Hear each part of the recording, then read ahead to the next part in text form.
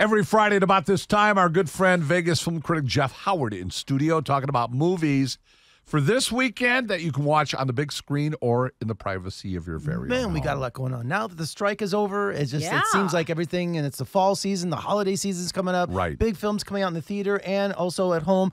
On Netflix, we have The Crown season 6, the final crown. Finally, yes. Yes, we caught up to Princess Diana, so that's getting a lot of buzz. Um, also, The Killer, which is from uh, director David Finch, starring Michael Fassbender. Wow. Yeah, so David Finch, who did Seven and uh, um, uh, Panic Room, is like one, and Fight Club, one of my favorite directors. And it's about a serial killer, excuse me, not a serial killer, um, a hired assassin.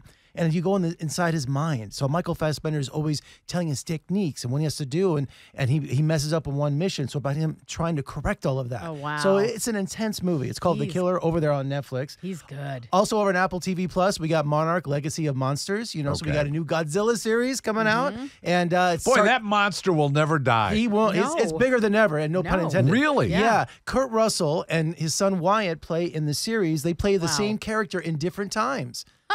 That's cool. Yeah, that's, it is. That's Who very can we cool. get to wow. play a younger Kurt Russell? Yeah. hey, how his about his son? Yeah. Get him on the phone. Well, he's got to look. Yeah, he looks. He looks a lot like him. So He, yeah, he does. yeah. And also, we have a new Godzilla movie coming out next week on Thanksgiving weekend called God. Godzilla Minus One, playing at the Galaxy Theaters. So if you love Godzilla like I do, growing up with him, you know, it's it, there's some great stuff coming out.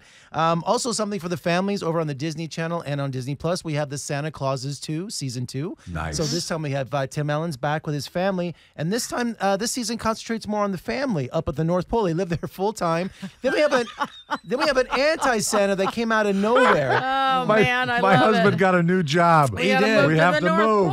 Pole. Yes. Ah. and Eric Stonestreet, who you know plays Cameron on Yeah, Modern yes. Family, he plays this anti-Santa from years past that was trapped at the North Pole. So he's coming out to take over Christmas for himself. oh no.